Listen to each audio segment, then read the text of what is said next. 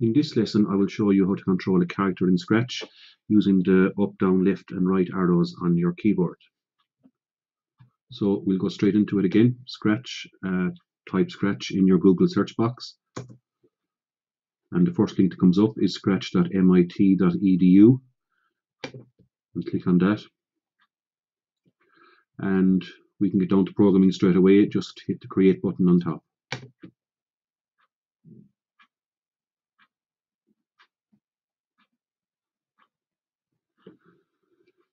Now, um, in this game, what we want to do is control this character here, the sprite, and make him go left, right, up and down according to the arrow we press on the computer keyboard. So that means we need a new command over here. So under sensing, uh, if you think of what we're trying to do, the character is trying to sense something external to him.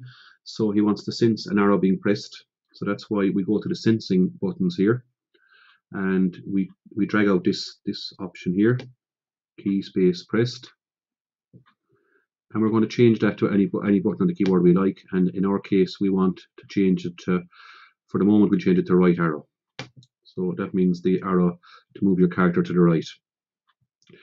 Now you'll see that there's a question mark attached, which, which means it's part of, of a bigger structure. And that structure is found under control. So you go to the control uh, options here. And we bring out this if statement and you can see that uh, it's a perfect fit the diamond shape. Uh, you drag that into the if. And now it reads properly because, because what it's saying is if the key if the right arrow is pressed then you do something. So um, we'll come to that the next thing um, in a minute but just to understand that part first if the key if the right arrow is pressed it's going to to do whatever command uh, goes in here. Okay so now we're going to decide what to make it do and we're going to go back to motion. And we want to move him 10 steps to the right. So drag that in there. So now it says if the, if the right arrow is pressed we move the character 10 steps to the right. Now to start any game in Scratch you have to go to events and we need the, the green flag to start the whole thing off. So drag that in there. Now you'll notice um, if we click it this time and start our game as it stands, nothing actually happens. Um, even if you press the, the right arrow, nothing happens. So we're missing something else. And what we're missing is, I suppose, the character has to be on alert at all stages during the game because the right arrow is not constantly pressed during a game. He has to be on alert always, forever, uh, during the game for the right arrow to be pressed. So that's the next thing we need is, is the forever um, block, as it's called.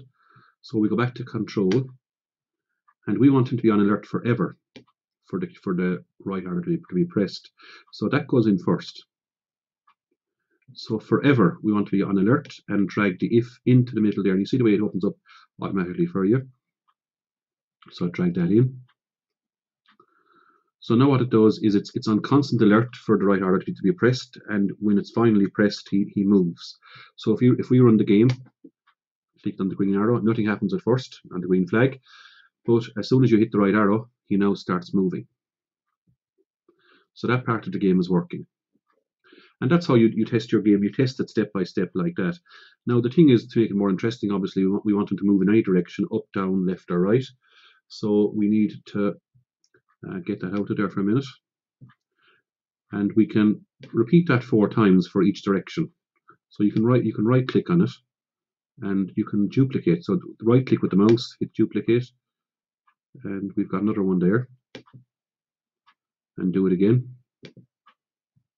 So if we right click over those two we can now duplicate and now we've got two more. But of course we've got to change all these uh, to match up with and close this thing down here as well.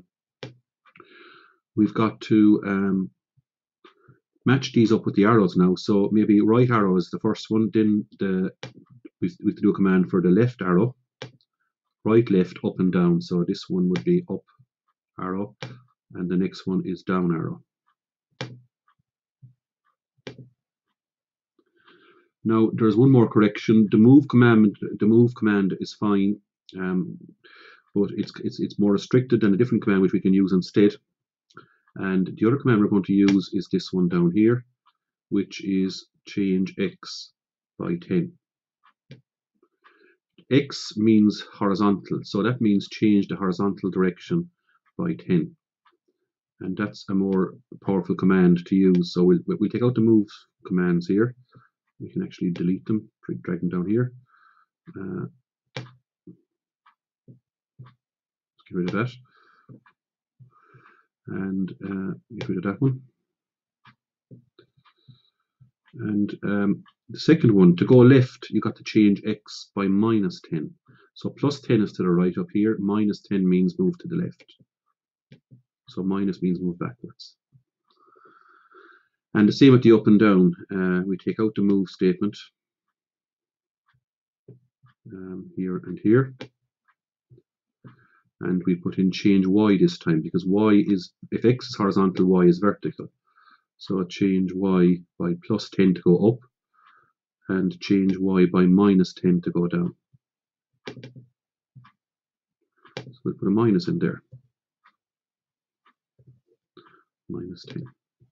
Oops, we'll just change that again. Minus 10. So that's the four directions. Uh, we've it all covered and we finally again drag that back into the forever, what's called the forever loop. So you drag it into the middle of the forever. It should open up for us here. So we'll just um, drag the whole lot in.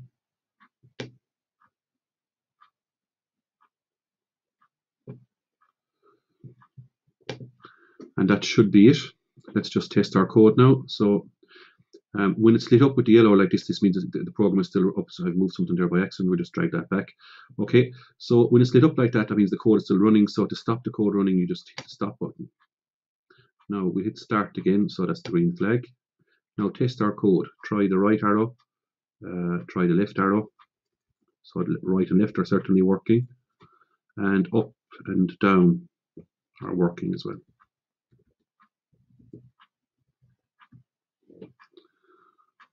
So that's the end of that lesson.